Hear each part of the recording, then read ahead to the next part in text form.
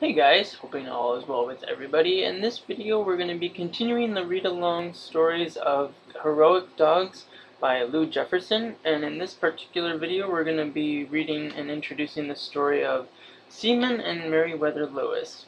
Um, because of the length of this story it's going to be divided into two separate videos. Um, the first part is going to be about Meriwether Lewis and the second part is going to be more about the expedition and Meriwether Lewis's dog named Seaman. So let's get started. Seaman and Meriwether Lewis. Let's begin this story with the human instead of the dog. Meriwether Lewis was born in Virginia in 1774. His father died when he was six years old, and the family moved to Georgia. It was in Georgia that Lewis made friends with the local Cherokee Indians. He stayed out of doors most of the time.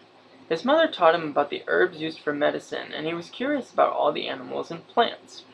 Lewis was sent back to Virginia when he was 13 to be educated by tutors in his uncle's home. Later, he went to college, graduated, and spent some time in the military. He left the U.S. Army as a captain in 1801 and was hired as a private secretary to Thomas Jefferson, living in the president's mansion. The Lewis family was known to Jefferson as their farm was near Jefferson's home in Virginia.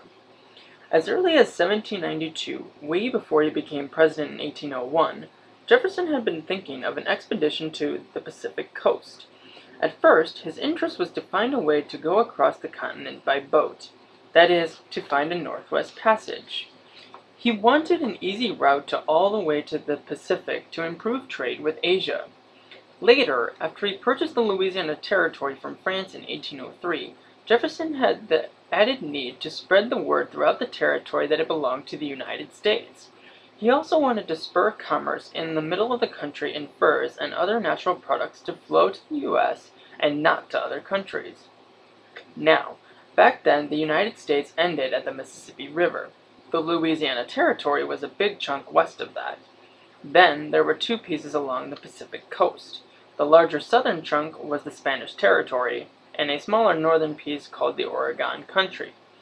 It was already known that you could go from the Mississippi to the Missouri River. The Missouri River is the longest river in North America. While parts of it had been explored by then, many thought that the Missouri was the Northwest Passage and the flow all the way to the Pacific Ocean. Jefferson officially appointed Lewis to lead the expedition, a commissioned detail of the U.S. Army called the Corps of Discovery in 1803 but he had invited Lewis years earlier to command the trip. Lewis turned to William Clark to be his co-leader. Clark had once been his superior officer in the army, so making him an equal decision-maker was a smart move on Lewis's part. Lewis was 30 years old and Clark 33. Before the expedition began, both men were busy gathering geographical information of the regions they would pass through. Lewis had studied medicine and biology, and they both studied astronomy and map making. They also found out as much as they could about the people they were likely to meet along the way. And here's a picture of Meriwether Lewis. Okay. They started with a large keelboat and two pirogues, one red and one white, and a few canoes. The keelboat, designed by Lewis, was 55 foot long, 8 foot wide at the middle. It had a sail and 22 oars. The mast of this boat broke at least four times during the trip. The pirogues were smaller boats with sail and six or seven oars.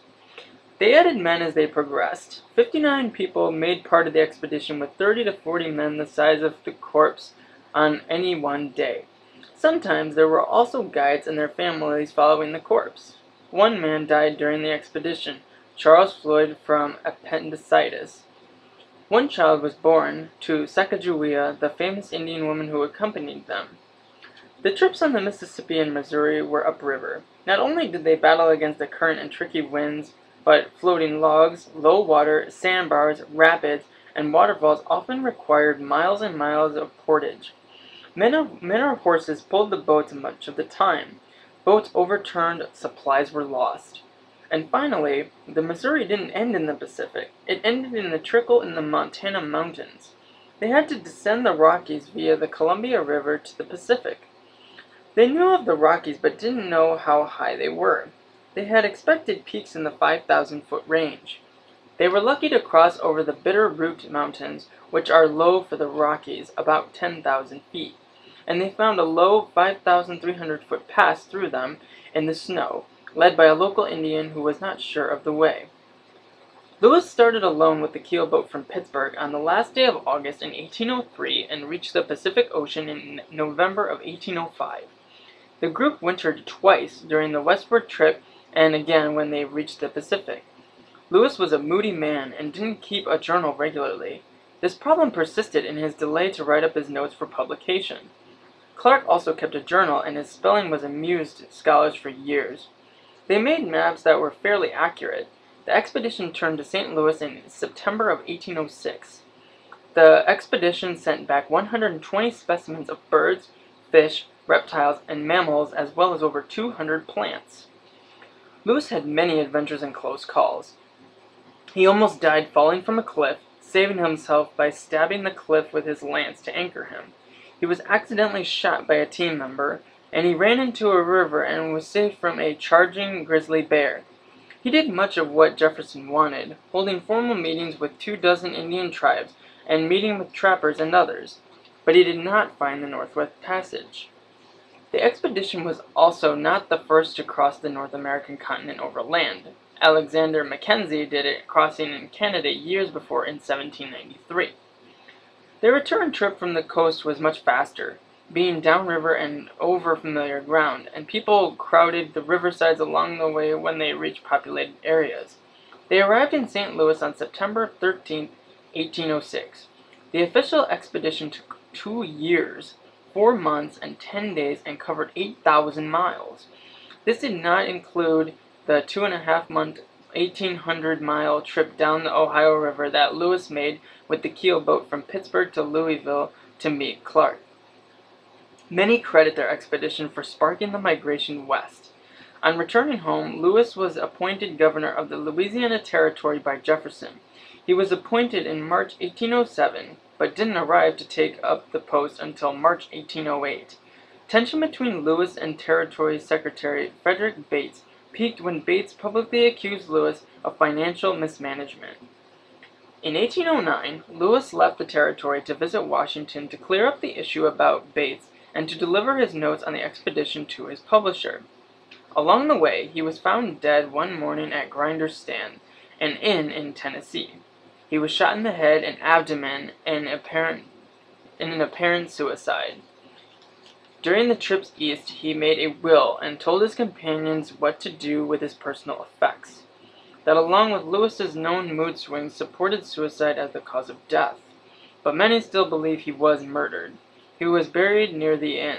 His grave was abandoned for quite some time now, but it is a national monument. His notes and those of Clark were finally assembled by Nicholas Biddle and Paul Allen and published in 2014. Much later, another editor, Elliot Coues, went through the notes of Lewis, Clark, and others and made a more extensive report of the expedition which was published in 1893. And we'll stop there and in the next video of part 2, we will learn more about Lewis, uh, Meriwether Lewis's dog, Seaman, and the rest of the expedition. I look forward to seeing you guys in the next video. Thanks for watching.